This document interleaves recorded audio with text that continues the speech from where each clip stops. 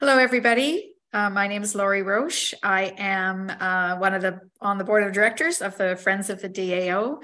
We're really happy to have everybody here um, tonight, and we have uh, we have a few um, uh, initial announcements and things that we'd like to talk to, and then we'll get into our well, then we'll get into our program for the for the night. Um, we hope that you get a chance to go outside a little bit. I have not been out in the last 15 or 20 minutes, but it was supposed to be a little bit clear tonight. So maybe people can get to uh, go out a little bit later and see if they can see the comet. Um, we'd like to acknowledge that uh, we are on the lands, or is it the Friends of the DAO and the Center of the Universe and the Plaskett Telescope at the DAO is on the lands of the uh, WSÁNEĆ uh, people, uh, SENĆOŦEN speaking people of the WSÁNEĆ um, uh, territory, and that we are able to uh, be there and to work and to play. We are very appreciative and honored to be able to be on their territory, and that we are up on a hill that is called Wetixis. Um, and uh, that we should be um, very, very soon um, working to have a, a collaborative um, work done with the WSÁNEĆ uh, Nation um, on in signage and in work um, that is going to be up on the hill. So um, hopefully we'll see that soon. So um, thank you to them. we would like to just talk a little bit about our um, are the road and why we are still not having things up on the hill. Uh, the uh, as some of you already know, the construction um, started on the hill in late uh, in in late um, well, October, early November, and uh, there was some um, some added problems that added a little bit of time um, to the work of the construction, and um, so in the at, at the beginning of December, uh, we had to make the decision to close the hill to the public, absolutely for the safety of everybody that was involved, um, and the safety for our volunteers, for the public coming up, um, for the staff, we had to make those decisions. We are really hoping that we might be able to be open. I mean, as early as the February, uh, the February Star Party, but we're not going to guarantee that. Uh, might be March by the time we get uh, we get back up. And we have um, been doing some school programs that we have done a little bit of pivoting back again to be in the classrooms rather than to have the the students back up on the hill. So lots of different things kind of going. We are still we are still here. We're still working really hard to get things um, to get things going, and we hope that um, uh, all of our patients can be rewarded just in a little while once we get the um, once we get the hill back open again, and everybody can come back up. So in February, on the on the 25th of February, our next star party is going to um, uh, uh, highlight um, Amy Archer, who you will see tonight in a couple of other in a couple of other ways, and she is going to be giving us a talk uh, called North Star to Freedom, and it's vignettes about the Underground Railway and the night sky. And I think that that will be really an interesting take on um, on on another way of looking at uh, at the history of how the night sky was used. So we hope that you'll join in for that. Um, we're looking at possibly in March having an open house with some of the surrounding um, community uh, in order to uh, to be um, well. We thought it was going to be part of be a tourist in your own hometown, except that they are not doing that this year. They're not going to do it until 2024. So uh, so we're just going to kind of go ahead and maybe do something on our own. And then in April, on April the 29th, I believe I've got the date correct, it's a Saturday, and that is International Astronomy Day. And so we'll be back uh, at the museum uh, in the daytime, doing a having a big program at the museum in conjunction with the Royal Astronomical Society, and then in the evening we will be having a program up on the hill, and that will be our our official kind of um, start to the to the season again and to summer star parties, and we'll give you a little bit more information um, after that. So unless uh, one of the other people have got any other announcements that they'd like to put forward, I can tell you what we're going to be doing for the rest of the evening. Um, uh, I've got Don uh, Don Moffat is going to be doing a What's Up in the Sky and talking a little bit about that green thing that is supposed to be up there that we haven't been able to see very much because there hasn't been very good weather. Um, Calvin is going to be uh, giving another section of the of the virtual tour. So he's already he's shown parts of the virtual tour over the last two um, programs, and he's going to be doing something on the spectrograph and Plaskett star.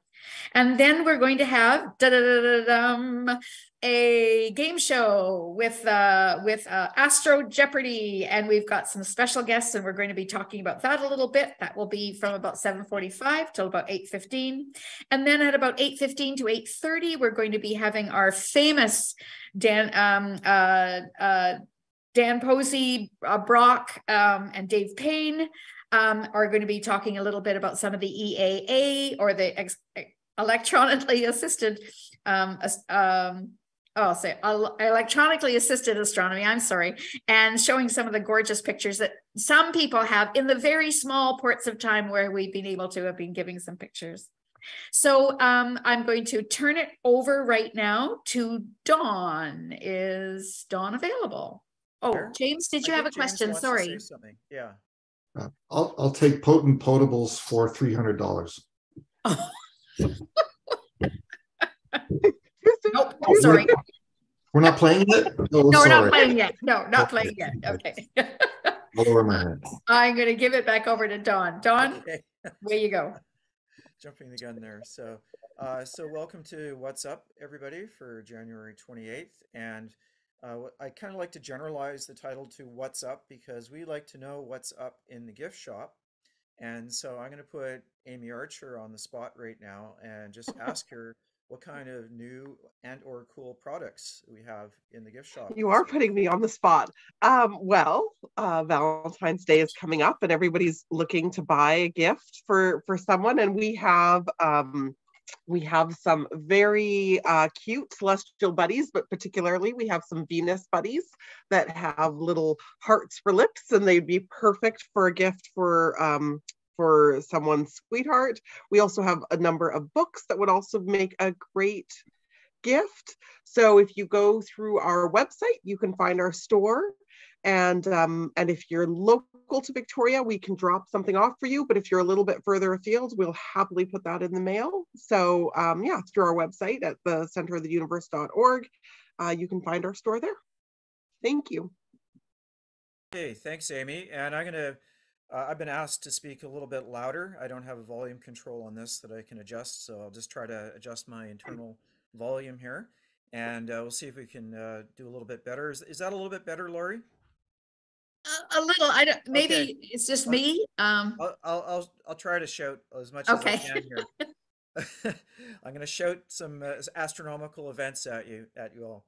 So I'm uh, going to start out with just the the usual thing about sunset and twilight, and it's kind of interesting that I think some uh, some people may find this a little bit boring, but on the other hand, I know an awful lot of people who seem to be obsessed with uh, when it's when it starts to get lighter at the end of the day around this time of the year. So I do like to just mention that, and also gives us a little bit of hope for the for the next month. So so let's start out here. So sunrise was at 7:47 a.m. today with astronomical twilight beginning at just before 6 at 5:58 a.m. And by the end of February, sunrise will be at 6.56 a.m., so getting quite a bit earlier. Uh, sunset was at 5.05 p.m. today, and astronomical twilight ended just before 7 at 6.54 p.m. And by the end of February, sunset will be at uh, 5.55 p.m., so a whole hour later, uh, or, or almost an hour later, I should say, about 50 minutes later. So uh, up until this month, the stars that we see at sunset have been relatively unchanged. And that's because uh, sunset was getting earlier as we were moving around the sun. And now, however, sunset is getting later. So when it starts to get dark, we'll notice a, there'll be a noticeable difference in the constellation. So we won't see Cygnus, for example, hanging over there in the western part of the sky and and so uh, but for now we can still see some uh, familiar winter constellations orion is up in the evening and uh, the andromeda galaxy continues to be well placed uh, up, up fairly high. And always, uh, for more information about sunrise and sunset, you can go to time and date and select Victoria for your location. And so the moon phase is first quarter tonight, and this is an excellent time to explore the craters and crags on the moon because the sunlight's coming in at a strong angle. And uh, we'll talk a little bit more about the moon phase in the context of the comet a little bit later. So full moon is on February 5th, and last quarter is on February 13th, and February 19th is the new moon. And as for the planets, Venus has been a very welcome sight low in the southwest just after sunset. And notice how its position changes compared to Saturn while Saturn is still visible. And you might not be able to see Saturn anymore depending on what your horizon is like. But uh, this is a bit of a challenge. See, maybe see the latest date at which you can see Saturn. It will be reappearing in the morning sky in uh, in sort of mid late spring, and will be at opposition again in in August. So it'll be at its uh, best placement in August. It has been fairly low down in the sky for the last few years when it's in the uh, when it's at opposition, just because of where it is in the ecliptic. But uh, and so our our view of the rings has been a little bit distorted by air turbulence and so on. But nevertheless, it's always uh, a welcome sight. So uh, so it'll be really it'll be quite a treat to uh, watch Jupiter and Venus draw closer together over this month and they'll be at their closest on March 1st. And so there'll be a nice a nice pair on March 1st, and uh, and at, on February 20 uh, February 22nd, look for the Moon and Jupiter close together, and then Venus just off to the side a little bit. So that's going to be quite a spectacular sight.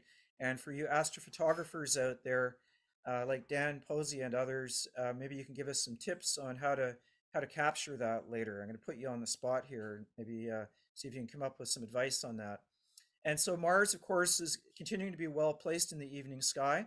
And so compare its color to uh, Betelgeuse and Aldebaran. And I'm just going to see if I can put uh, the night sky up here and just share a little bit. And uh, hopefully I can move some of you out of the way here.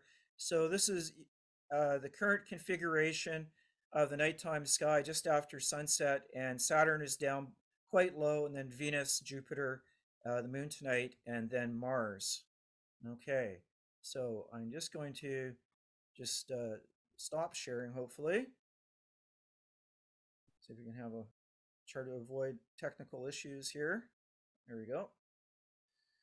Okay, so there is a comet in the in the news, and as many of you aware, there's a comet called Comet ZTF or C20 uh, 22E3, which is technical designation, and that's been in the in the news. And I would say, unfortunately, it probably shouldn't have been in the news because it's uh, and I don't think they can use the ex- excuse of a, of a slow news day anymore for this kind of thing. But uh, nevertheless, it's been in the news, and uh, I noticed there's a lot of talk about how you know it hasn't been around in 50,000 years. Make sure you don't miss it, and so on.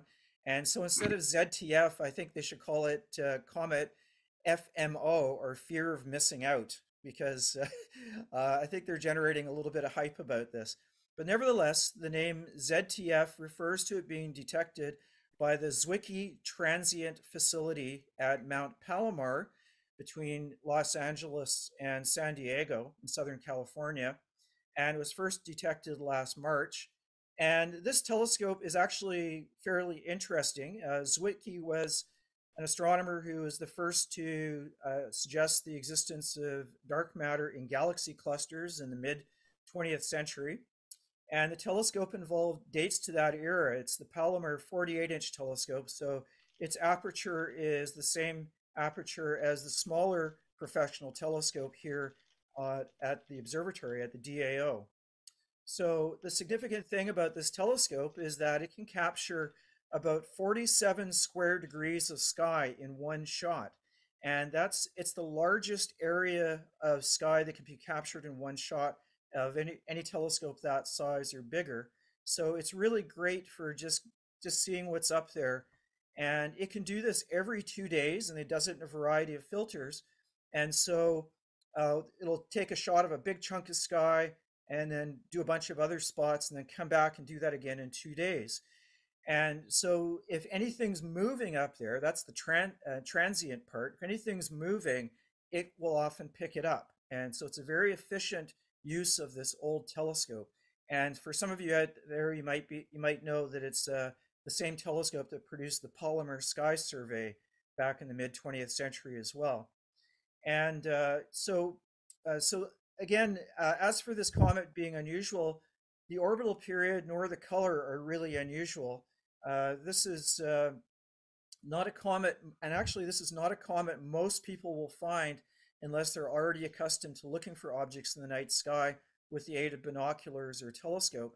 And the true great comets, as they're called, uh, comets that are easily seen by people who are not amateur astronomers, are typically 100 times brighter than this comet. And the tails are typically visible to the unaided eye. And this one is currently um, is uh, around sixth magnitude. So it's it's right on the edge of what you would be able to detect with your eye under ideal conditions. So nevertheless, um, I'm not going to try to discourage you too much from trying to find it. It's possible to find over the next next week or so, as long as you're attempting to find it from a relatively dark site and let your eyes adjust to the darkness for at least 20 minutes. And I should just put in the proviso the moon is already at first quarter. So, really, the next day or two is probably the only chance to try to pick this thing up, um, even with binoculars, because of the moon, moonlight increasing. And so, um, so why is the dark the dark site so important? Because binoculars should be able to see stars that are on the edge of visibility. Well, the, the magnitude of the comet is actually its total magnitude of its glow. And these things are kind of like little fuzzy cotton balls. And so if there's any loss of contrast with the sky, they're really, really hard to see. And, uh, and so uh, as for the greenish color, you'll likely need to have like a six inch telescope or larger in order to see that color because uh, your eye needs to have lots of light in order to see colors well. And I'm just going to try to share my screen again and attempt to show you where it is tonight. And I did go out and, and try to find it and em emphasize try to find it. And uh, I'm just going to adjust the time here a little bit and uh, just adjust a few other things. So pardon me while I just fumble around a little bit here and hopefully get us in the right part of the sky. And oops. And I'm just going to take away the sky a little bit here. And let me see if I can move this around to the right spot. And uh, I'm going to put the constellations in to help me a little bit. It's actually near, there we go. Helps to have the constellations in there, doesn't it? So there's the bowl of the Little Dipper. And the comet is right about where that little crosshair was. I'm just going to zoom in. Hopefully this will work. And it's near the star called Kochab here, which is the brightest star in the bowl of the, the Little Dipper. And I'm just going to zoom in a little bit more. And so what we're actually looking for is uh, it, what you try to do is kind of line up these two stars in the bowl of the Little Dipper and you'll star hop over to this star right here and then go at a right angle over to this fainter star and this fainter star is about as faint as the, uh, the, the faintest star that you can see with your eye under ideal conditions. It's about six magnitude. So that's about the bright the total brightness of the comet and the comet will be over in this area approximately. So good luck. It's not going to be easy to find. I did go out and try to find it, but uh, for best results, uh, try to uh, let your eyes dark adapt for about 20 minutes. So no cheating by looking at your phone or anything like that. Make sure you don't do that. But um, see if you can find it. And if you do, please let us know. So that's about it. Uh, I don't know if anybody has actually been successful at seeing the comet. Um, it, please uh, speak up if you have or if you've even tried. Uh, Laurie, have you tried to see it or? I went out, oh, sorry. I went out uh, a, one, maybe about like 10 days ago 12 days ago on a on one time and i couldn't find it my, my eyes are not very good anymore so i'm not able to see it but i just wanted to let people know that the uh, uh, UVic Observatory. The the students are opening the UVic Observatory tonight, um, oh, up great. at the up at the up on up at at UVic, and that they were going to try to see whether they could find it. So they've got a nice big telescope there, and would be able to find it. So after we're finished here, if you want to run over to the to the yeah. uh, to to UVic, they might be um, able to show you. So how how late are they open? Do you know? Until ten o'clock tonight. Till ten o'clock. Yeah. And one other thing about the seeing this is that we're actually looking fairly low down in the sky and looking through a bit of haze and uh, and uh, and light pollution as well. So all of those things do uh, cause a lot of issues with trying to see these faint diffuse objects. But uh, maybe they'll uh, be able to show it to you up at UVic. So that's that's great. Thanks very much, Laurie. And uh, have fun tonight, everybody. Good luck in the contest. So Don, I thought I saw it in Stellarium, but it was just a smudge on my screen. so uh just I wrote it I had uh, chat GPT write us a little haiku about the night sky. Maybe we could end the, this session with that uh haiku. Sure thing, go for it. Stars in the sky, shining bright like diamond dust, guiding us through night. That's beautiful.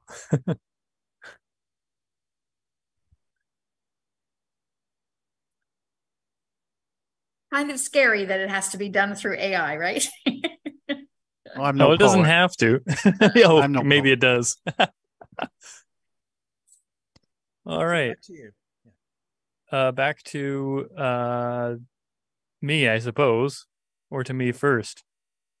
Um, hello. So I believe uh, I am next. I am doing a um, a continuation of the virtual tour uh, so the last time I uh, was doing, I was actually, I was doing the virtual tour, and I pretty well did a quick look through the virtual tour that you can find at uh, our website, center of the Uni- center of the universe.org. I showed the mirror that used to be in the telescope, the original mirror. I showed the model. Um, then another time, I showed the uh, dome itself. Uh, so I figured this time around I would uh, look into something in a little bit more detail, um, the way I would if uh, I was taking a tour and I had a, a lot of uh, extra time to go into something. So uh, this time around, I will share my screen here. It might take a second. Uh, I'm going to talk a bit about the spectrograph uh, that is on the Plaskett telescope.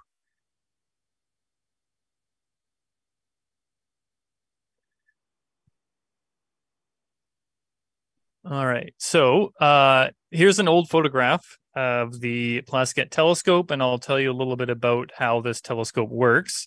Uh, so uh, this telescope has a big mirror called the primary mirror way at the the back here. And this is what does all of the light collecting. And that's really important because the bigger the mirror you have, the more light you can collect, and you can make very dim objects look much brighter. And I will talk about this device here at the bottom called the spectrograph. Uh, so that is um, would be located at what is called the focal point. So uh, this is a diagram here of the telescope. Uh, this is uh, where the you can see the primary mirror here, and there's actually a secondary mirror, which on the photograph on the left would be up near the top. Uh, when this is looking at a star, the light from the star comes uh, down and through the tube of the telescope, and it gets to the mirror.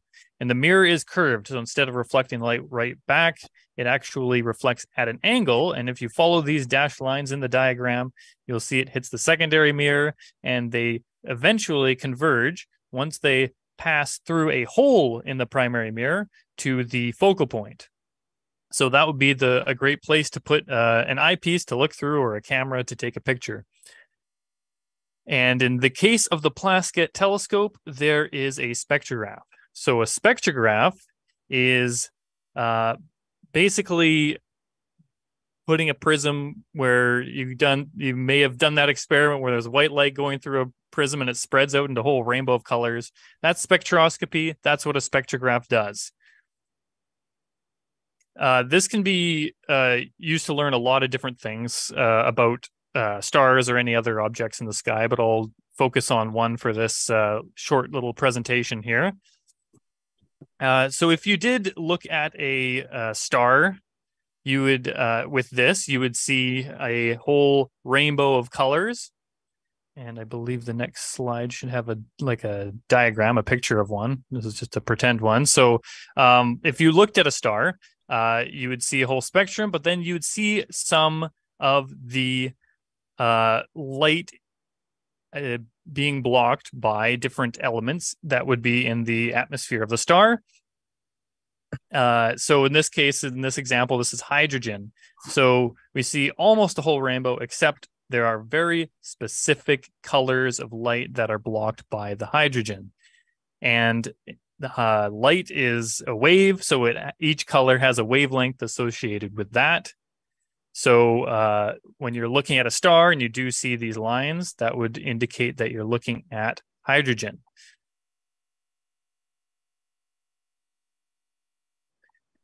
So the hydrogen will always create uh, this very specific pattern of uh, of lines in this. And uh, what's really interesting though is if you happen to see this exact same pattern but shifted slightly, then that would indicate that the object is moving toward or away from you. which means you can measure uh, speed. So this is the exact same effect as the uh, Doppler effect. It, it is the Doppler effect, but just for light. So uh, for sound, we may be a little bit more familiar with that. Uh, if there's some really loud, really loud object moving towards you, well, that would mean that the wavelength of the sound waves are getting compressed and smaller, and that would lead to higher frequency of sound. And if it's moving away from you, it would have longer wavelengths of sound, and that would mean it's a lower pitch, lower frequency. Uh, so in the case for light, the Doppler shift, uh, it would mean that the uh, the larger wavelengths uh, are red. So if some if this pattern of colors, uh, pattern of lines is shifted to the red, then that would mean that the object, like a star or something in outer space, is moving away from us. And if it's shifted uh, blue, that would mean that it's moving toward us. So uh, astronomers can do this. They can look at where uh, exactly where this pattern of lines should be by, say, in a laboratory looking at hydrogen gas. They would find lines in a very specific place, and then they can look at different objects in outer space, and they can see those patterns shifted slightly, and they can measure the difference in like millimeters of wavelength, and they can measure how fast an object is moving, either toward or away from us. Uh, oh yeah, right. And uh, if the um, the spectral lines happen to be shifting red and then blue and then red and then blue back and forth, that would mean that they're you're, what you're looking at is two stars that are orbiting each other. So this is what we call a binary star system. So at one point, uh, one star is moving toward us and then and uh, the other star is moving away and uh, then it will be uh, trading places as they move around so uh, john stanley plaskett uh, was doing this kind of research looking for stars that appear to be um, that appear to be uh, just one star because the stars are so far away that they might look like one star. And he searched through a bunch of different stars and used this technique to discern if some stars were actually two that were orbiting each other. So um, uh, Plaskett did that for many stars. Uh, one of the uh, exciting ones, though, was in 1922 uh, using the Dominion Astrophysical Observatory's spectro- spectrograph and he found uh, two uh, very big stars that were spinning around each other really quickly. Um, so using this uh, Doppler shift method, um, found that these stars, uh, which are is now called Plaskett star, they are two stars, and uh, they orbit each other every 14.4 days. Um, and that's really, really fast considering uh, it takes the Earth one year to go around the sun. Uh, this is two very big objects spinning around. How big? Well, they each weigh more than 50 suns. Uh, so these are incredibly large, large stars that are spinning around. And I believe it's they're like 5,000 light years away from us. And uh, if we tried to look at them, um, they wouldn't appear too bright um, to us. We'd probably need uh, some kind of telescope to be able to even see them. Um, but they are very large objects moving really fast.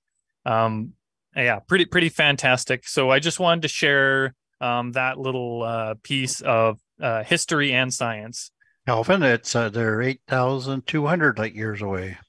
Thank you for that uh, correction. Eight thousand two hundred light, light years it, away from us. In the constellation Monoceros. Yes, right. Uh, Mon- Monoceros. Yeah, Monoceratus is like the name Monocer- of the. Yeah. um. Excellent. Yeah. So um, these stars are what uh, what astronomers call like O type stars. So they're they are extremely bright and they're bluer in color. Uh, and there's two of them. Um, however, they're so far away that I think they're like sixth magnitude, so they're like not noticeable to human eyes, but a simple telescope would maybe pick them out just barely. but you would need a spectrograph to even see that there's two. Uh, so that's all I had uh, prepared for uh, us today for any kind of uh, virtual ish tour.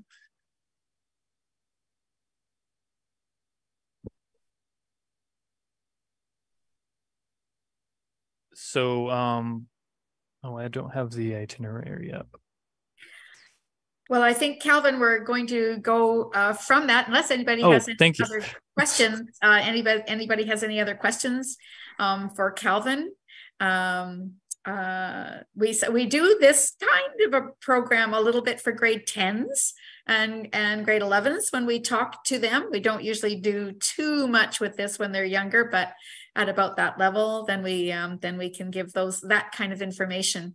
And it's always That's really right. interesting when you can put the the science part in with the history. Um, the pictures that he showed were of the original of the original spectrograph. Um, the spectrograph now actually looks a little bit different, and uh, maybe one of that's right. James uh, or uh, or or um, Dennis might want to talk about that a little bit later. But oh, can I just mention that? Oh, yes. Um, in the 19th century, for example, astronomy. There was astronomers did astronomy, and that was measuring the position of a star, its motion across the sky, timekeeping, and then they developed photography, and they could take images of stars and get you know better positions, etc. It was the ability when they started taking spectra of the stars that then it became astrophysics. And that mm-hmm. is why the it's called the Dominion Astrophysical Observatory. Plaskett was very adamant that it be called the Astrophysical Observatory because damn it, we do astrophysics here. So just to add one other thing to what Dennis said, in the 19th century, there were two kinds of objects in the sky stars, nebula. Um, and was... planets, planets. Oh, yeah. I, I, forgot about the planets, but, but deep sky objects. um, everything that wasn't a star was a nebula, meaning cloud of some kind or other. And they were they knew they were very different. There were different shapes of clouds, but they didn't know any of them were outside our galaxy. That wasn't discovered till the early 1920s. Mm-hmm. Right. Everything was uh, either pointy or cloudy. Yeah. it was some kind of cloud or other. Some of them were round, some of them were smudges, and some of them were diffuse, but they were all clouds. all right, we're going to change over to Amy Archer. Amy, you are our hostess of the mostest. Well, I, I, I, I'm, I'm just an, an introducer. I'm just a voice. oh, okay. All right. so uh, and i'm a very excited voice i'm excited to have you guys all here for for um for this game show uh a very a very good friend to the fdao mentioned this at dinner um a while back that we should try this and i thought hey i'm game let's let's see how this goes so um so we have three contestants tonight so our contestants for tonight's game show are uh, Dr. Ben Dorman, uh, who is our illustrious board chair. Ben uh, has been fascinated by the night sky since he was three years old, and he had a cousin who told him to just look up. Uh, then we also have with us Dan Posey, who is a member of the RASC Victoria chapter, Royal Astronomical Society of Canada, sorry. He is an executive by day and an amateur astronomer and historian by night. Dan was uh, in an astronomy course when he was in university and heard a description of how to take photos of the night sky, and he thought he could do that. And he has been hooked and very good at it ever since. then we have um, another doctor, James DiFrancesco, who is the director of the, the Dominion Astrophysical Observatory always quick witted and always keeping us smiling. James's favorite constellation is Perseus because it contains the vast cloud of star forming gas where he has made many of his discoveries. And then tonight, uh, very fortunate to have uh, Dennis Crabtree joining as our, oh no, I have something and everything went away. Okay, uh, to Dennis Crabtree joining us as our game show host. Um, Dennis is the unofficial historian of the Dominion Astrophysical Observatory, and he uh, spends much time scanning photographs taken by um, John Stanley Plaskett um, between 1910 and 1914. So here is our group for today. I will be um, sharing my screen. Our, our contestants will be using the little raise hand uh, icon in their Zoom uh, when they have an answer, and we'll be looking to see who raises their uh, hand first.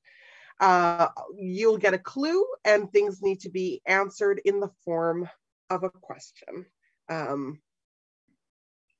if you don't answer in the form of a question and you happen to get it right, somebody else is going to answer for you. Dennis will be keeping us in good humor and uh, keeping you guys honest here. So Yes. Okay. So, welcome to Astro Jeopardy. Uh, as Amy explained, uh, you will pick a category and a dollar amount. Well, I don't see the dollar sign. You pick an amount, and I will ask the question. And again, you will have to phrase your answer in the in the sense of a question. If you get the answer right, you'll be get that amount of points. If you get the answer wrong, then those points will be deducted from your total. So um, let's see here. Let's who can we? I guess we have to start with somebody. So I will flip my three-sided coin here, and we will come up with start with Dan Posey. So Dan, go ahead, pick your opening salvo. This might be my only shot. So uh, Astro History for 500, please. Astro History for 500. The Mayans wrote a book containing their early human attempts to make sense of the sky above us. This is the oldest surviving book in North America and was rediscovered in Dresden, Germany.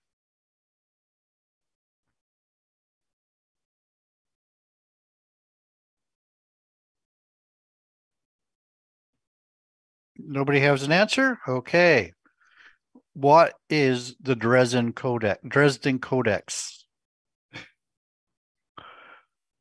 Okay, I guess we will move on to Ben. We'll let you have a shot at it.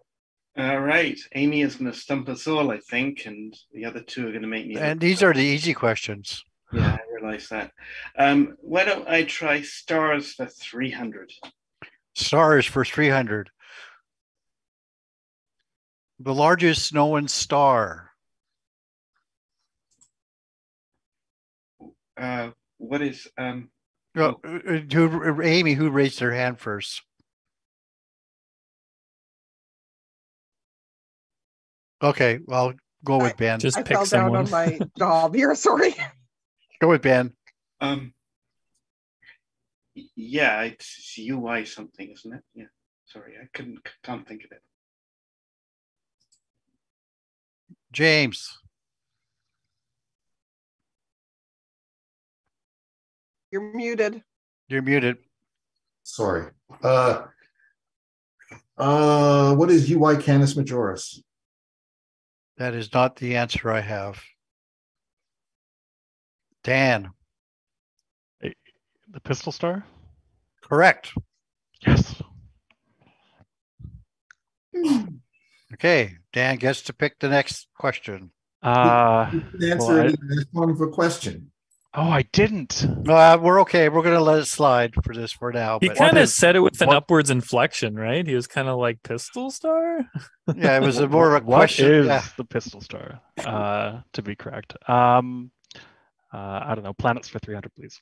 Planets for 300. This planet's craters are named after famous artists, musicians, and authors. Example, Rachmaninoff, Beethoven, Zhao Zhao, Zhao, Zhao and Tolstoy.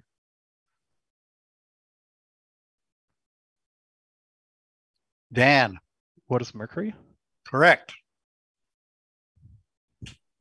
Score is Ben zero, Dan is 600, and James zero. Dan, pick the next question. Uh, stars for 400, please. stars for 400. These are two of the different dwarf planets in our solar system. Hold on. What? Dan. Stars for 400. Uh, what are Ceres? And Oh, Pluto? did I pick the wrong one? Yeah, you picked the wrong one. Sorry. The pictures. Stars, not planets, right? You Yeah, said yeah, yeah. stars. Yeah, okay. Sorry. s- s- s- Stars. Two parts. What astronomical unit is defined as this length? So The Dan length- did have his hand up originally. It does it still? Oh, no, he took it down. Okay, so Ben is the person. And then the second part is the length above is approximately this many kilometers. What is the distance from the Earth to the Sun? And what is one point one hundred and fifty million kilometers? Correct. 149.6 million Give or take. Mean distance, though. Mean distance. We're, we're not mean here, Calvin. We're all kind people. approximately. Okay, Ben, uh, hands down, please. Hands down. Yes, cute. Um, uh, yeah, yeah, could I get um, not astronomy for 200? not in astronomy for 200.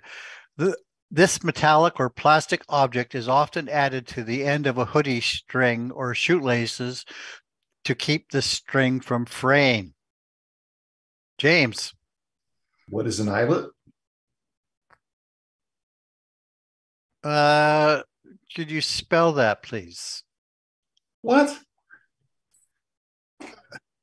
Uh, I think it's well, I think it's E Y E L E T. That is not the right answer that I have. Did, did somebody else have their hand up? Wow, you are mean. Yeah, you are mean. Yeah, Dan. Dan, That is You are mean. What is a thingy? no, it's a thingy. Nope. The, I, the, I'm not. I'm not going out on this plank. the, uh, the term is aglet. What is an aglet? A G L E T. An eyelet is what you put this to put it through. Through. It's not the thing at the end of the, the thingy at the end of the It's just a thingy. You're. I was right. Okay, so who was asking answering uh, Ben? You So get Ben. to ask it, Ben. What? You get to ask the next question since Oh, I nobody got that one right. All right. Um, okay. What about astrohistory for 200? Astro history for 200. He is the person credited to first asserting that the Earth is spherical. Ben, Who is Aristophanes? incorrect.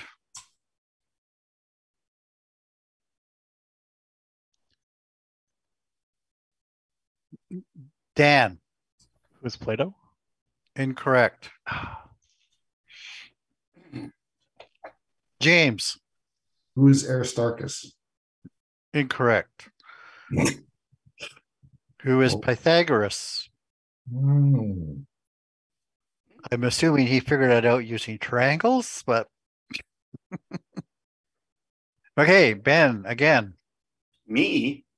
All right. Yeah. What about deep space for 300? This is a cloud of predominantly icy planetesimals proposed to surround the sun of, at distances ranging from 2,000 to 20, 200,000 AU. And I wasn't watching Amy, so you who had their hand raised first? Ben was Ben had his hand raised first, and then James, and then Dan. What is the Oort cloud? Correct.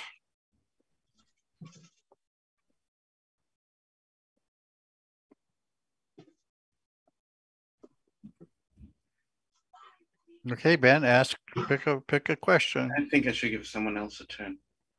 No, no, you asked you, you if you win. All right, get... well I did okay on that one, so we'll have deep space again for 400 this time. This picture is a part of which nebula? The it's called this this picture is of the pillars of creation is a part of which nebula? That was James first. Uh, what is the Eagle Nebula? Correct. James is on the board. All right. Okay. I'll take deep space for 200. This is a highly magnetized rotating compact star that emits beams of electromagnetic radiation out of its uh, magnetic poles. And Amy, it was, Dan, Dan, then James, then Ben. What is a magnetar? Incorrect. James? James? What is a pulsar? Correct. Magnetar is a type of pulsar. That's right. But technically, it's a neutron star. Oh. Not a okay. pulsar. A pulsar is a radio object that is okay. a neutron star. This is just we're on nighttime TV. We're not going to get too scientific about this. so, James, take each one is a subset. I'll take I'll take not astronomy for four hundred, please. Alex. This organ is responsible to secreting insulin into the bloodstream. Dan, then Ben, then James. Pancreas. Do the form of a question, please. What is the pancreas? Correct. okay, pick a question, please. Uh, stars for 500, please. This is the constellation shown in the picture.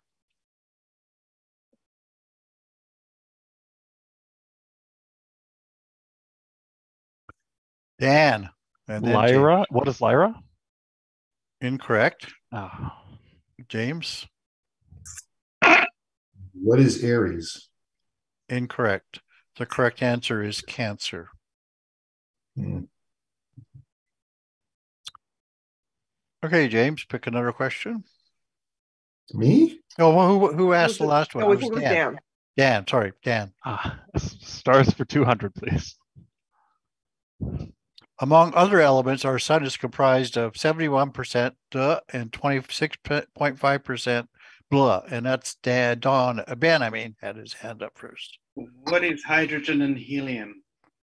Correct.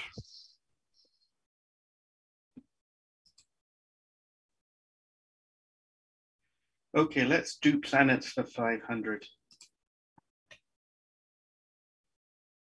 This solar system houses seven Earth sized planets in its habitable zone. James. It was James first. What is TRAPPIST 1? Correct. Right. Okay, our current scores are Ben with 900, Dan with 1,000, and James with 1,100. Okay. What, James. I'll, all right. I'll take uh, not astronomy for 300, Alex. Thank you. This is the name of the 2011 iteration of the Shakespeare play Romeo and Juliet, depicting the main characters as garden gnomes. James has. What is Romeo and Juliet? Correct. If anybody was going to know that, it would be you. I'll take that as a compliment. okay, uh, I'll take uh, Deep Space for 100, please. This is the theoretical boundary around a black hole beyond which no light or other radiation can escape. Ben was Ben Ben was quick on that. What is the event horizon? Correct. Okay, Ben, pick a question. All right, we'll have deep space for 500 then. This is the comet with the shortest orbital period. Ben. What is Encke's comet? I'll take that. Just a question for Amy. Do we have a daily double or not? No, that's the one that comes up in the boxes, right? No. Okay, but we do have it in here. What? Nobody's picked it yet. Okay. Well, anyways, uh, Ben, go ahead. Lower your hand, Ben. Yes, that's it's not fair to keep your hand up and then. Okay, but I'm not really all that fair. Um, could I get uh, planets 400? These are two different, are two of the dwarf planets in our solar system. I, I wasn't watching Amy, who. Uh, Dan, then Ben, then James. Uh, what are Ceres and Pluto? What was the first word? Ceres and Pluto. Yes, that's correct. The other one was Eris. If you wanted two out of three, was all you needed. Okay. Uh, wow, we have a tight game. Uh, planets for 200, please. This is the densest planet in our solar system. Dan. Uh, what is Mercury? Incorrect. Oh. James. Uh, what is the Earth? Correct. Isn't it referring to its inhabitants? uh, okay, I'll take not astronomy for 500, please.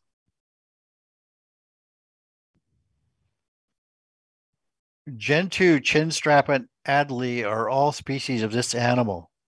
Ooh. Ben. Me? What is a penguin?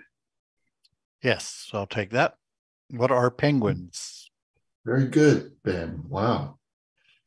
This man knows his penguins. yeah, or are they Linux distros or something? I, I only I only knew one of them actually. okay, pick a question, Ben. All right, let me get Astro history for 300.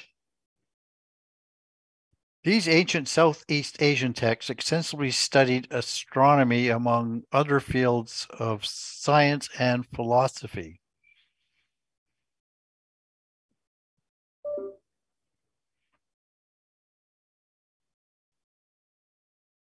No one? No one. Okay. What are the Vedas? Oh, okay. Never heard of them. Uh, okay, Ben, pick a question. Again? All right. Well, since I did so badly on that, I'm going to try it again. That's astro history for 400. The Chinese are the first civilization to record this event in 2136 BCE. Dan, then James. Uh, a super observation of a supernova, but I think that it's uh, also 1136 BC. Incorrect. And remember to phrase your answer in terms of a question. James? What is a solar eclipse? Correct.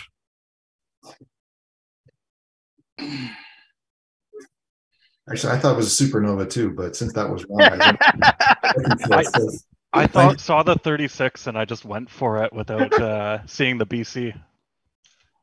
Okay. Uh, hand up or down I'll take not astronomy for 100, please.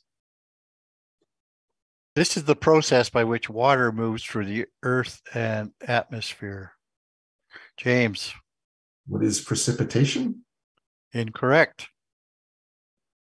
You notice we're not deducting points when you get an answer wrong, but that's okay. Yeah, Ben. That'd be wise. Oh no, should we be? I think so. That would be so difficult, wouldn't it? Or yeah. mean? uh, Next round.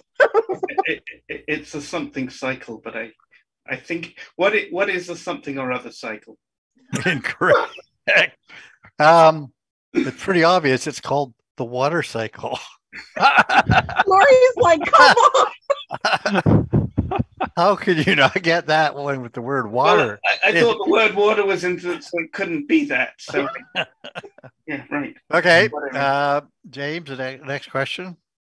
Oh, I get to ask you, Quinn, again. Okay. Uh, Nobody got the right answer, so update astro history for 100, please. Called the father of observational astronomy, he made significant advances in astronomy as well as other fields of science. He was called a heretic for promoting heliocentrism author of dialogue concerning the two chief world systems. James, then Ben. Who is Nicholas Copernicus? Incorrect. No, no, no. It was Galileo. Who was Galileo? Correct. Ah. So he was not. He was not called a heretic for promoting hedonism. Notice that was somebody else. In, that, was, in, that was his brother. Incidentally, dialogue concerning the two chief world systems is a great book and it's quite easy to read.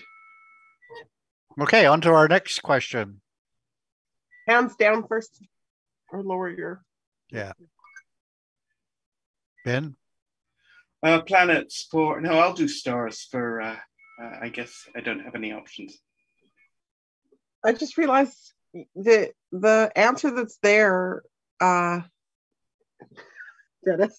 I know that's not the right answer. That's not the right answer. Closest star to Earth. We know, James. what is the sun? I'll take that as a correct I'm answer. I don't, Amy. Where did this come from? Put it up. What no, is... this is that was not right. Uh oh, fess up. That's just the new. Okay, there we go. Oh, James got it. I have no idea what that is even. Okay. last question. Last question. Planets okay. for 100.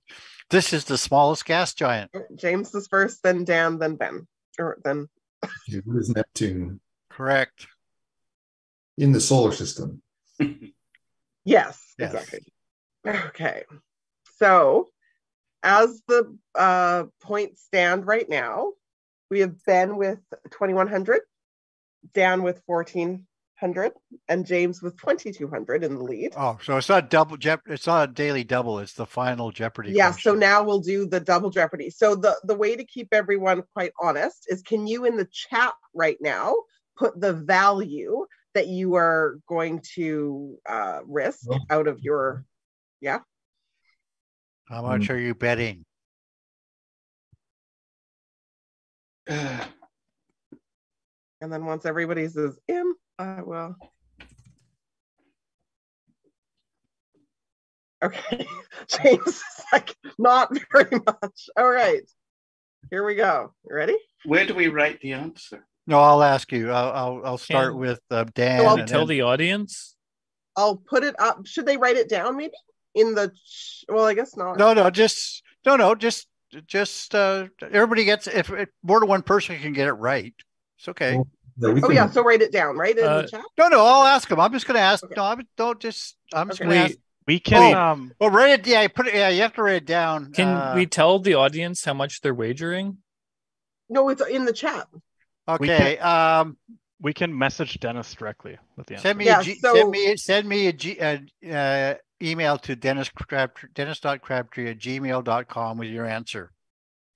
Uh, or just put it in the chat directly to Dennis. No, no, because then they can see each other's answers. So no, not if it goes directly to you. Yeah, I wrote yeah. it on a post-it note. I'll I'll put it up in front of the screen. Send me your emails with with the answer that you think. So Dan Dan has um, risked one thousand three hundred and ninety nine points. Ben has risked fifteen hundred points, and James is a conservative one hundred points that he has risked. Yeah. Okay, so I haven't got any Everyone answers can yet. see the question here. Mm-hmm. People emailing me an answer. You want it to your Gmail account or your NRC? G- account? Gmail account. Why would I be on my NRC email? Just asking. Yeah, Okay. yeah. Saturday night, and I'm on my NRC email. No. Why? Your my supervisor is really keeping tabs on me. Okay. How much time do we give here? I haven't got a single answer yet, so I just sent you one. Do, do. Ding, ding, ding, ding, ding, ding, ding. okay. I got two mails, and I'm just waiting for Dan's. It's Thanks, in uh, Lori. it's in the chat directly to you on Zoom. Oh, it's in the Dan chat directly Dawson. to me. Okay, so we'll start James, with are you Dan. in? Uh, what's your answer, Dan? Uh, what's the name of the city in which it's located? Okay. Uh, that is not the correct answer. The correct answer. Um, yeah, but that's that's I hadn't thought of that, but yeah, that's not the correct answer that I'm looking for. You and I were thinking alike there, Dan. Uh, so So that brings And all three of them- one point. okay, all three of them got the same answer, which is, in retrospect, yeah, the obvious answer. But I So have something much more. it's in stats. Well, after the water cycle thingy, I thought you were. Okay. Dennis, tell us the story here. Okay. So the fellow who photographer who took all the construction photos of the observatory and did other photography for Plaskett until at least 1932 was Edgar Fleming. Edgar and his brother Harold came to Victoria from London in the late 1880s and opened a photography business. Edgar has a portrait photograph he took of Queen Victoria in national uh, in in one of the uh, archives in the British in the UK. So Queen Victoria and the DAO are linked by Edgar Fleming, who took portraits of both subjects. What is a history nerd? That's pretty hard. well Uh, the other daily, the other final Jeopardy question's even Well, harder. wait, but are we doing this? Are we doing the another board or what do you want to do? Well, who won the, the first game? Well, you did. Oh, what do I What's win? the final score? Uh, just wait because Ben is now so Dan has one point. I have one dollar. Uh, Ben has 600 points. And And James has 2100. 100. It means you're buying a beer afterwards, James. okay, let's go. This is fun. Let's do it again. All Is Yeah, anyone still fun. left online? Can we see if anyone's still left online or have they all quit? And we still got 16 participants. Hey, wow. Okay. so how We do I- can't- Ward number two. Okay, so I'm trying to remember. Calvin showed me a trick here, but now I can't. Oh no. Do you And want a Dan, reminder? Dan, since you finished with the lowest amount, you No, will pick the first question. I think we need to take off points. Yeah, yeah. Okay, so I can do that. That one doesn't uh, count. The uh, first one uh. doesn't count. We're all Right. Right, that's a good supposed to be. idea. I don't know how I messed that up last time. Sorry That was the practice round. Yeah, I guess that for all dissuades people from just going for it. I mean, I'm sure that'll No, still happen, but? Oh, yeah. How do I? Okay, okay. I'm sharing my screen. Sorry. Let's- one second. Yay. Okay. Okay, Dan, you have the honor of picking the first question. After the last one, I'm concerned, but let, let's go solar system for 300, please. The planets Jupiter, Saturn, and Uranus or Neptune are made out of this. Amy, who was first? Uh, James. Uh, what is hydrogen? Oh. Is that right or not? I, I don't have the answers for this one. Oh yeah. If you scroll down on that email, they you have them, but it's Oh, okay. it's like it's part of it, kind of. I don't know, Dennis. Oh, I see them. Yeah, I got you. I got you. Okay. yeah. Would you? Uh, that is not the correct answer. What? well, Dan, What is gas? and can we say and? and ice core, depending on what uh, you're talking about. I'll take that as a correct answer. I'm not sure ice is really needed, so yes, we'll give you that. Yes. I'm sorry, James. I, I learned from the water cycle. there's more than hydrogen, and okay. so there's gas. Okay. Yes. Yes. Yes. hey Dan, pick a question. Uh, solar system for 400, please. Solar system for 400. This planet rotates sideways. Amy, who was first? James. Uh, what is Uranus? Correct. Okay, nice. Okay, I will take stars for 400, please. Major stars become one of these when their star life ends. Um, massive, massive stars become one of these when their star life ends. Who was first, Amy? Uh, James, then, well, Ben took his hand down. So, James. What is a supernova? Correct. Black holes would have also been an acceptable answer. A what? A black hole. A black hole. Okay. Okay, pick a question. Yeah, I'll take uh moons for 300, please. This planet has the most moons uh, Dan, then Ben, then James. What is Jupiter? That's not the answer I have, but I'm going to override what I have and give you a correct answer because I think that is. There's a good chance that the person who came up with some of these. Who did, came up st- with these? Did it still well, have Saturn? These I ones. It, I think it's satin, actually. Okay, hold on. Oh, Okay, well, Ben was. Uh, can we can we fact check? Calvin, can you fact check? Uh, according to the uh, Chat GPT, Jupiter yeah. is the planet with the most known moon. So we'll go with that. What? Can you? Are you sure it's not? Are you sure it's not Saturn? Yeah, Saturn has eighty-three moons, and uh, Jupiter has ninety-two. I think ninety-five, maybe. Depends which month you ask the question. And right now, it's we, they keep finding more, so they they go back and forth. Okay, Ben, Ben, Ben, lower your hand. Who's who's getting down, boy, one? down, down, boy, down. Who, who, who got this one right? Because now I'm probably confused. I did. Oh. Yeah. Okay. No, James did. James got it right. Oh. I did. What? Okay. He said Jupiter. Okay, back to the questions, please. Didn't Dan say Jupiter? Dan said Jupiter. Yeah. yeah. No. Sorry. No, no, that's okay.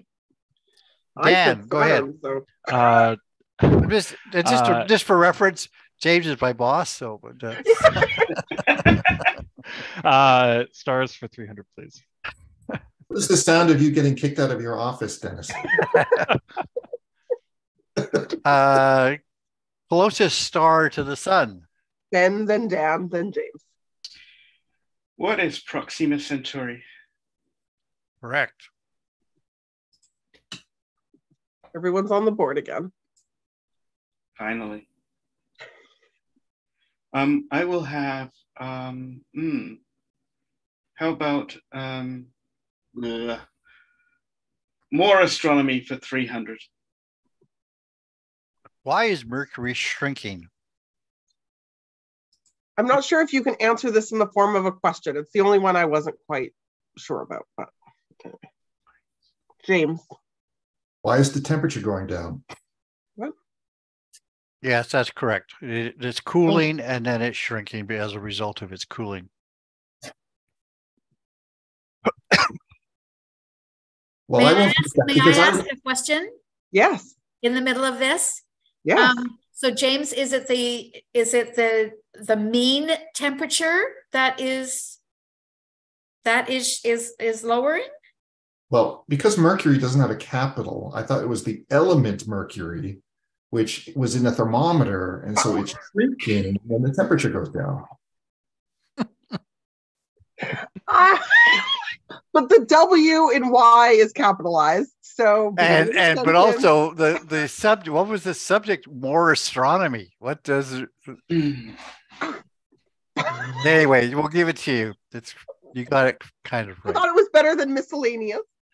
Okay. This is definitely the B sides of the Jeopardy. Are you referring okay. to the questions or the players?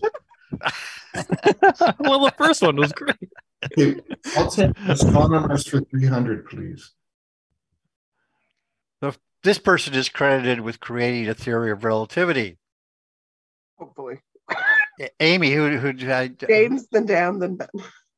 Who is Albert Einstein? You. Correct. And you even got the pronunciation pretty nicely. What what about Galileo?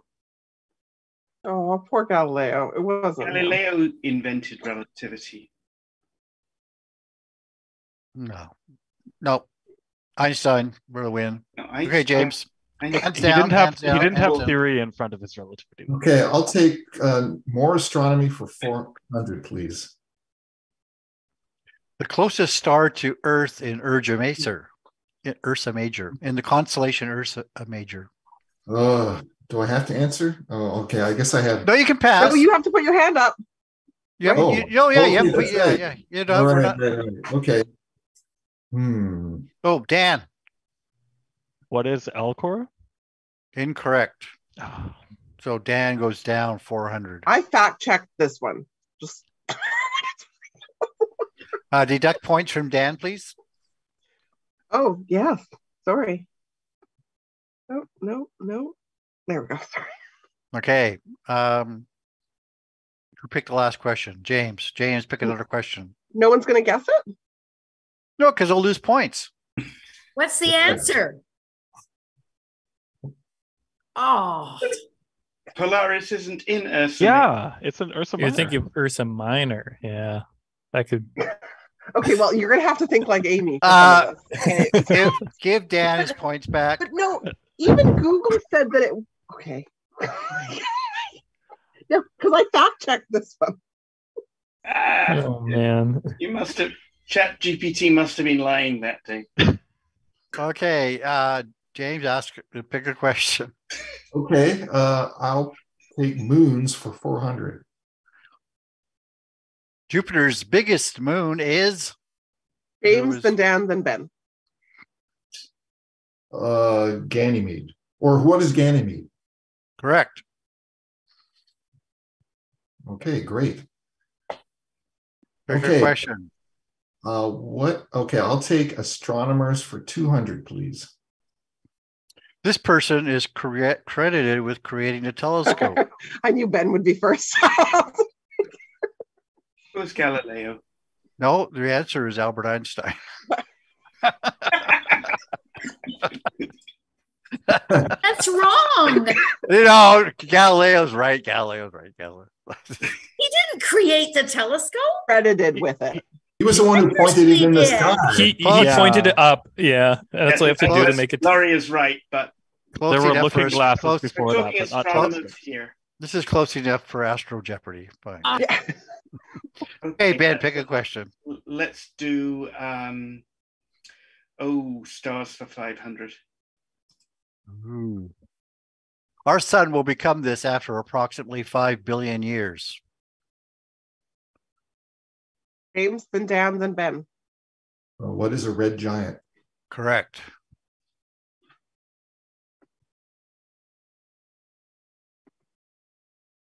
Okay. It, it's not true. It will become a jolly green giant. oh, oh, oh. Pick a question. Um, I'll take a solar system for 200, please.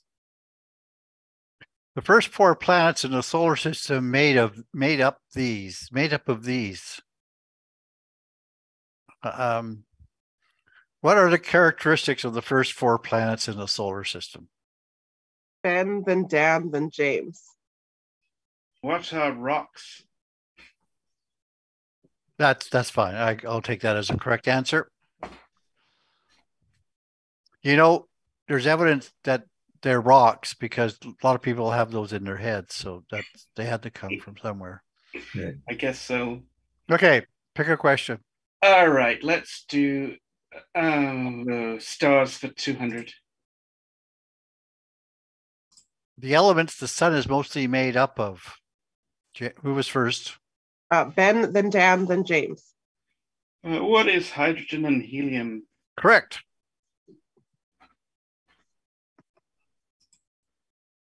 Next question. Hmm. Astronomers for 400? Who was the astronomer who first provided the idea of the sun being in the middle instead of the earth? Think before you say his name. Dan, then Ben. Well, I don't like the the first, but who is uh, Nicholas Copernicus? Correct.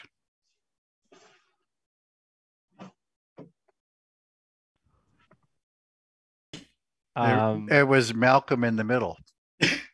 and uh, astronomers. Uh, Lower your hand, please, Dan. Yeah. Uh, astronomers for 500, please. This person made the law of Hawking radiation. Uh, who is Stephen Hawking? Correct.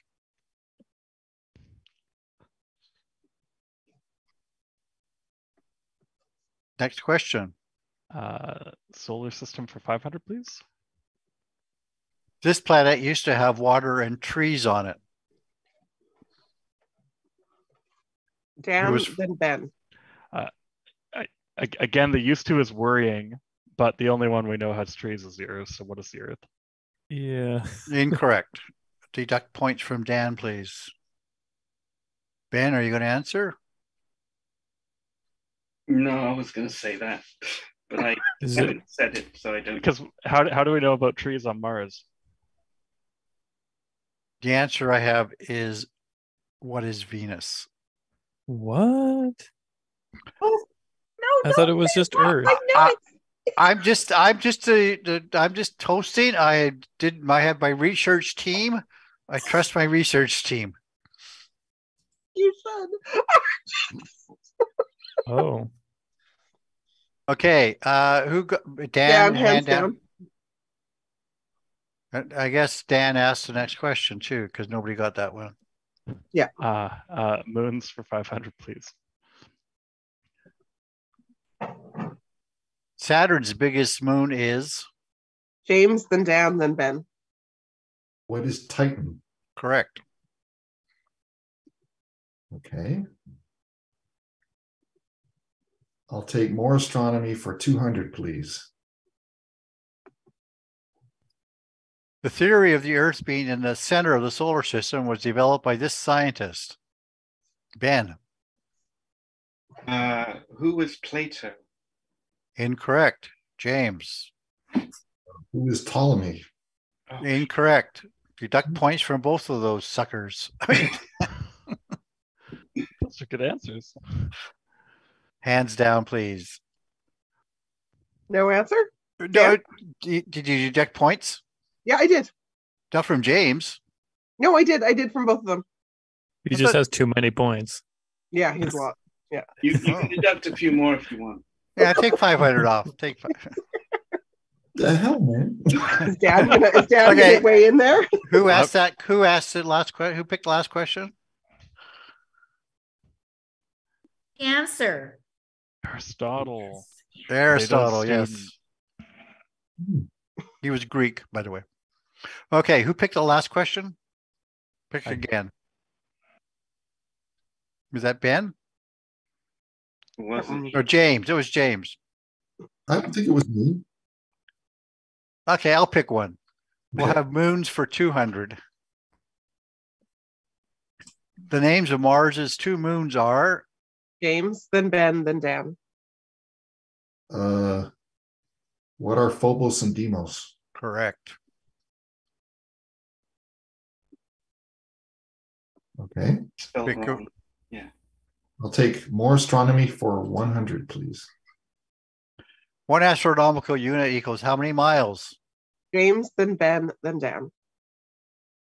What is 93 million miles? Correct. Okay. I'll take uh, stars for 100, please. The name of the star that exists in our solar system. Ben, then James, then Dan. What is the sun? Correct. How do you spell that? S N U. Okay, pick a question, please, Ben. Mm, more astronomy for 500. The black hole in the middle of our uh, the black hole in the middle of the Milky Way galaxy. James, then Dan, then Ben. What is Sagittarius A star? Correct. Okay. You get a gold star for that question. Thanks. Good answer. Okay. Okay. Uh, I'll take solar system for 100, please. Name all the planets in our solar system in order. Dan, then James, then Ben. What are Mercury, Venus, Earth, Mars, Jupiter, Saturn, Uranus, Neptune? Correct. I was waiting to see if you had Pluto on there. I, I still feel the pain, but I've, I've moved on. Okay, Dan, pick another question. Uh, astronomers for 100, please. First man to step on the moon. That was fast. Ben, then Dan, then James. Uh, who is Neil Armstrong? Correct. And our final question of the round. Moons. The number of moons Earth has. James, then Dan, then Ben. Uh, what is one? Correct. Actually, it's not true. There's another one called Cruithne, which is a, in a hyperbolic orbit with the Earth. But uh, Oh. we won't count It- that. It's it's only a, a temporary. It's a Yes. visit. It's a visiting moon. Okay, so we have our totals, and now we will go to our final Jeopardy question. Um, so first of all, send me a private chat with the amount you want to wager. If you could do that now, please.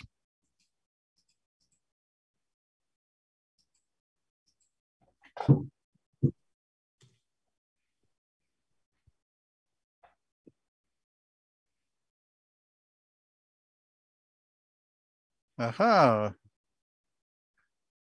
No surprise that James is doing the same as the last answer.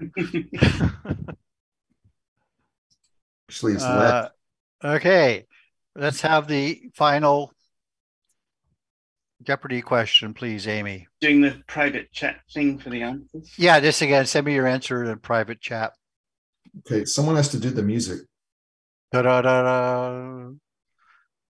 The do do do do. Like I said, the first one, the first question was easy compared to this one. Oh.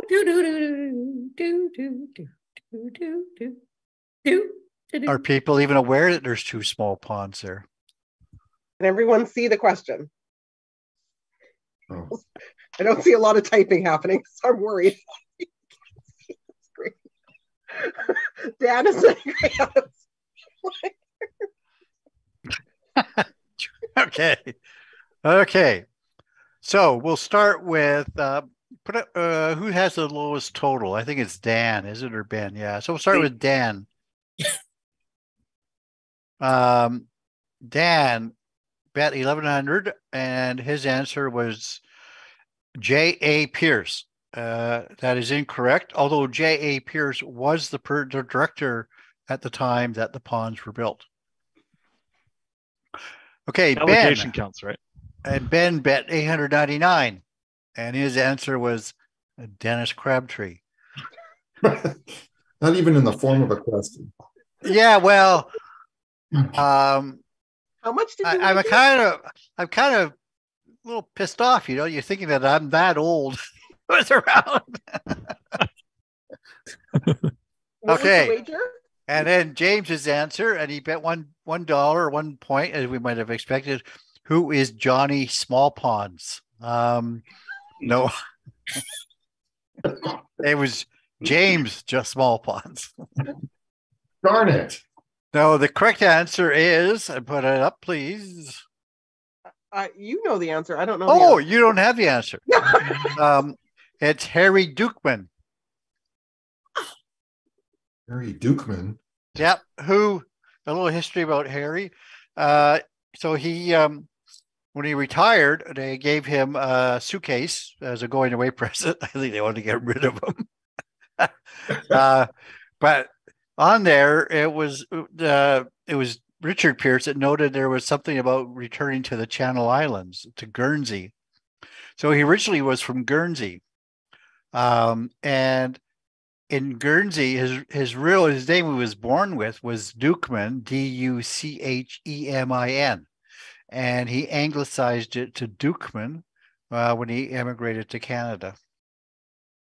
So he was a fellow that, and uh, you might not notice the ponds, but the first one's on the right as you take the steps up the hill towards the, the dome. They're right. It's right there on the right, and the second one is uh, just to the right of the, the circular, semicircular driveway at the White House. So um, I think that one's one of them is, doesn't have water in it anymore. But um, he built those by hand. Uh, I still don't know how they're they fed with water. Hmm? Never seen either of them. Yeah, me neither. what? no. Well, there you go. Everybody learned something tonight. Well, if one of them's empty, you were making this my answer was I thought you were making all this up.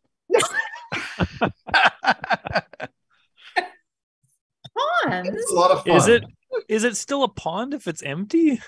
Uh yeah. Is that Well, it was intended to be a pond. What is a It was crater? once, and that counts. What is yeah, a what? right. A hole in the ground. What is a hole? in the- Anyways, have a look. Next time you're up. a hole in the ground. Well, that Thank lot you to our wonderful game show host and to our contestants. That was that was a lot of fun. Uh, I learned some things, mostly that I need to do a bit more fact checking. I hope we this makes a return in it to another I would party. love to, I would love to see this make a return again, maybe in person would be kind of fun. And Calvin and I have to completely change our presentations because we've been saying all along that Saturn has more moons than Jupiter. well, that's what I said. Totally wrong. And I uh I I must admit I never bothered to keep up to date with it. I just thought there was that Saturn had so many more that uh, I would I would would just have to say one has more than the other, and then that's all I have to say. But the thing is, they keep discovering more, and and Well, so I, I'd love to come back. I, I could be the Ken Jennings of astronomy Jeopardy. Well, you you definitely won the You're- bragging rights tonight, James. Yes, So, You're, um, you're the so you champion. Defend your title. well, if he didn't, he was going to have to resign as director. Yes, that's the Jeopardy part of this game. the Jeopardy part. And can I just say that NASA has uh, has has uh, websites about the fact that it appears that there were was once ocean and uh, possibly trees on Venus. I did not get it out of nowhere. Na- I NASA have, have to take a look. I heard that. That is crazy. Is that Yeah. the We'll take a of- look. Is that the ni- NASA's Department of Hype? That was the idea. Was it the April first one? I don't know. What was that, Don? Uh, well, I mean, before before Sagan came up with the explanation that uh, the radio signals from Venus were due to high temperatures, they thought it was uh, they thought it was uh, like a swamp planet. Mm. And, uh, Right. apparently a swamp planet. The Edgar Rice Burroughs had Yeah, There's a there- there's band never- called Trees on Venus. There's never been life found elsewhere. hey, we should send Trump there to empty the swamp, to drain the swamp. All right. Wow. Thanks, ev- thanks everybody. Um, next time Or- grow a mustache, Dennis. Pardon me? participating. Next time grow a mustache for for, For Oh, yes, yes, for Becky and this. Yes. yes. Uh, we're going to just finish off um, tonight with just a, a few um, a few things that uh, uh, we've got. Brock uh, Johnson. We've got. Um, uh, is Dave Payne here? Dave. Yes, Dave. Hi, Dave. Um, uh, and Dan. Um, and uh, they've got some uh, new pictures or some other pictures to show us um, today of gorgeous things up in the sky. I'll give it back over to David and and Dan and Brock. Well, I, I can make this short because I haven't, uh, unlike these two fantastic imagers, had a chance to get out under the night sky and take an image for a good long while here. So I can say thank you to, for, to the uh, competitors in the Jeopardy game and uh, hand it over. Yeah. Okay. I, I guess I'll go. I've got. Uh, I might have the first one might be a rerun, but it's a uh, it's a good one. So let me share my screen.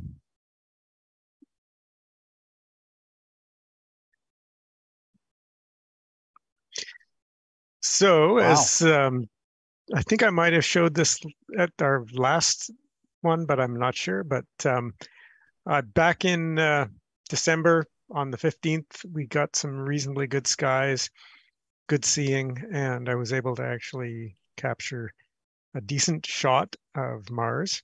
And uh, I had tried a few times this fall, hoping to catch right at uh, opposition, which I think was on the 8th, but missed opposition, but just by a few days. But um, managed to get some decent detail. And very nice. I was happy with that one. And then um, on the uh, when did I? I don't even remember when I did this one. A few uh, in that same time period, I uh, captured uh, the Bear Claw Nebula, which is a planetary nebula that I had never heard of before. It's very faint, but um, as as most people know, a planetary nebula is what's the remnants of a star that has basically um, gotten old and expanded um, and um, probably left a white dwarf or something in the center. I don't know if one of those stars is a white dwarf, or I don't know much about the actual details of this one, but uh, it does have a little bit of a bear claw appearance in the center. So, and it seems to be surrounded by hydrogen, which is creating some nice red glow. What's, and then what's causing the lines, Brock? That I don't know. I mean, it. There's a lot of texture in there that isn't sort of. I guess when you think about it, actually, at the at the heart of the in the center of the ring nebula, there's actually some little, almost little stripy features, and and this could be something similar to that, but I don't exactly have any got, idea what would cause it. But there's kind of a moat around the center, which the dark area separates the outer yeah. from it. I thought it was named after the pastry. Huh. And then the uh, the most recent one was from January 10th, wow. and that's the uh, what's known as the tadpoles, which is IC 410, and it's a nice little star forming region. So there's collection of young stars in the center here that are blasting out uh, tons of their uh, their energy, which is of course blowing out the uh, surrounding hydrogen gas and probably some oxygen and sulfur. And of course, it's glowing and emanating lots of uh, lots of uh, light in the hydrogen alpha and O3, which hydrogen alpha, of course, is the red, and oxygen is radiating more of a cyan color and and there's these really interesting little uh, features down here which is probably where it gets the name the tadpoles mm-hmm. from but uh, that's, that's beautiful i think that these are basically caused by another star a strong magnetic field or something around stars in this area that's just kind of acting like a bit of a, uh, a shield to the outward gas that's being blown out from these guys in the center. And it's leaving a bit of a wake. And that's all I've got. Gorgeous, Brock. Thank you. My gosh. David?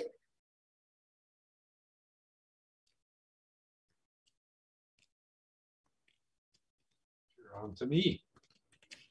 It was a nice Brock, beautiful, beautiful tadpoles. Um, I, I'm cheating a little bit because I haven't been out since October. So I'm going to show you a set of images I've taken.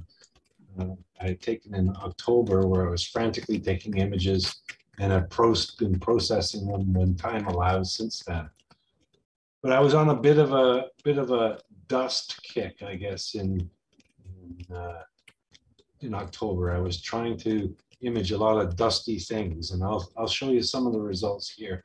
The first one, uh, I think is apropos because it's uh, a Messier object. It's, it's Messier's 29th um, cataloged object.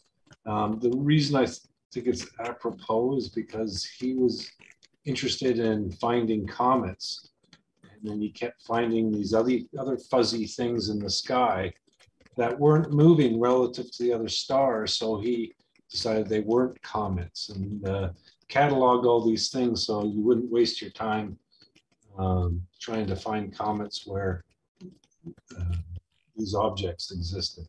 And I guess if you squint this star cluster, if you squinted at it from a distance, it might look somewhat like a comet.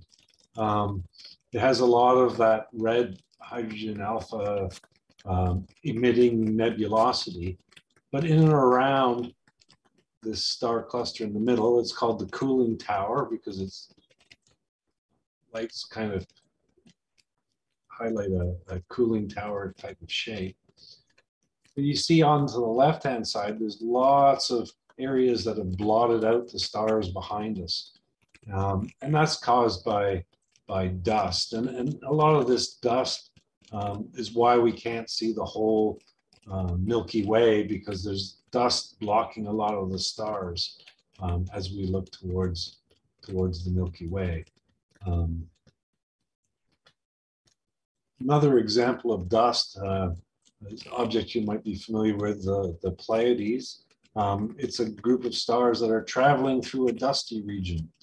So indeed, when there's dust, it appears either black if it's very thick or reddish brown.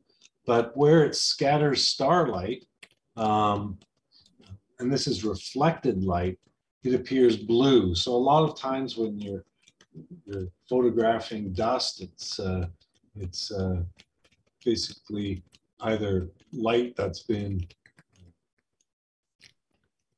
absent or um, or being scattered um, and appears blue, just like the, the, the, same reason the sky appears blue for us. So this is the Pleiades in, in amongst dust.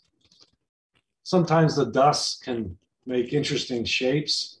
Um, this is uh, this is an image of the, the ghost nebula because it looks like ghosts are appearing um, coming out of this, uh, coming out of nothing, I guess, and it has a very ethereal effect. And there's even a kind of a bizarre shape, face-shaped uh, thing in here. Um, here's another um, dust area. This is called the Helping Hand Nebula because it looks like a, a hand is being stretched out. And you can really see that behind that dust, it's really blotting out the, the stars behind it. Um, and then where there are stars um, shining through the dust, you see this very uh, blue halo around them. And then the final dusty image I have um, is kind of uh, a bit of a photographic target because it looks like a shark is coming out through space. Again, you can see the blue halos with the stars scattering the, the light and uh, this reddish brown to, to black uh, color where, where the dust exists. So that's all I had for this evening. Beautiful shots. Yeah, those are amazing, Dave. And Thank Rob. you. I have trouble focusing my my my iPhone let alone anything, anything else. Oh my goodness. Thank you. Thank you so much, David and Brock. Wow. Those are just amazing. Um, I think maybe we'll we'll and there's anybody has any questions or would like to ask any anything of any of our wonderful esteemed guests this evening, uh, we can take something in the in the uh, in the chat at all or else just um, while you're while um, you're thinking about that we just want to um, again say thank you to uh, james and to dan and to ben for putting themselves out there uh, and for um, uh, for Dennis for being uh, a, a, very uh, gracious um, host and Jeopardy Jeopardy host for us today, and I think it's going to be really fun to see whether or not we can bring back um, some uh, some other people uh, maybe another time. But of course, James will have to, um, you know, be one of the champions there to on on the side for sure. Um, please please make sure that you um, that you try to uh, join us for the February the 25th. Um, we're looking forward to Amy uh, giving us some um, historical perspective. Uh, and uh, Amy, this is kind of part of Black History Month. Is that, yeah, yeah the yeah, whole, the whole thing. Yeah. I think that's really that's really important that we that we um, pull that whole part in. Would be I'm looking I'm looking forward to that a lot. Good. Yeah, and hopefully, um, hopefully we'll learn something because I'm learning lots in my research, so it's good and I would also, I'd also like to ask uh, other people that um, we've got a lot of people here that are uh, members of the board of directors and are uh, friends of the the DAO, and we uh, we hope that uh, many of you will uh, will continue to help us out and to support us and uh, and uh, be patient until we can get back up on the hill. As I said before, we can uh, try to get that road back opened again, and uh, and we'll see whether or not we can uh, we can be all back up on the hill together, which would be just fantastic. Uh, and we'll just wait a little bit for some better weather too. So, anybody else have any other things that they'd like to end up with? Okay, then we'll say a good night. Thank you very much for coming. Thanks, Calvin, for giving your your presentation. David, um, Brock, um, Don, um, and uh, for everybody else that that was uh, that was a great evening. Really enjoyed it, and I learned some things too. Right. But there is still a couple of things that were wrong there. You know, a couple of things. Yeah, I have to have to figure that. I look forward to the. It really the depends one. on how you interpret them. Okay. anyway, good night, everybody. Thanks for coming. Okay. Good night. Good night. Good night.